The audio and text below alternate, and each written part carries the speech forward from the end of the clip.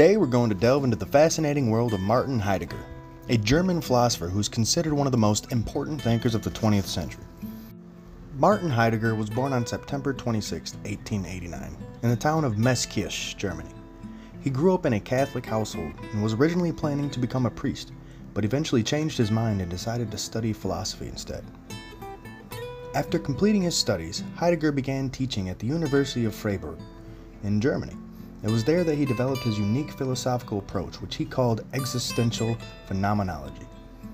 Heidegger's philosophy is notoriously difficult to summarize, but at its core is the idea that human beings are fundamentally thrown into the world and must confront the existential realities of mortality, anxiety, and meaninglessness.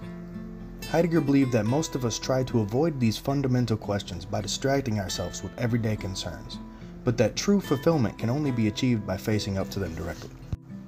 One of Heidegger's most famous works is his book titled Being and Time, which was published in 1927.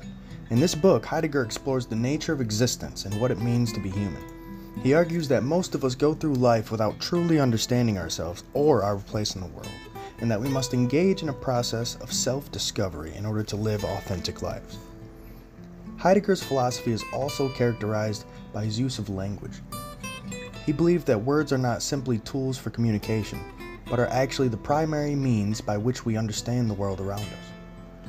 Heidegger was particularly interested in the German language, which he believed had a unique ability to express complex philosophical ideas. Heidegger's philosophy was not without controversy. However, in the 1930s, he briefly became involved with the Nazi Party in Germany, which has led many to question his moral character. Heidegger later distanced himself from the Nazi Party and claimed that his involvement was based on a misunderstanding of their true nature, but his association with them continues to be a subject of debate. Despite this controversy, Heidegger's philosophy continues to be widely studied and debated by philosophers around the world. His ideas have influenced numerous fields including existentialism, phenomenology, and hermeneutics.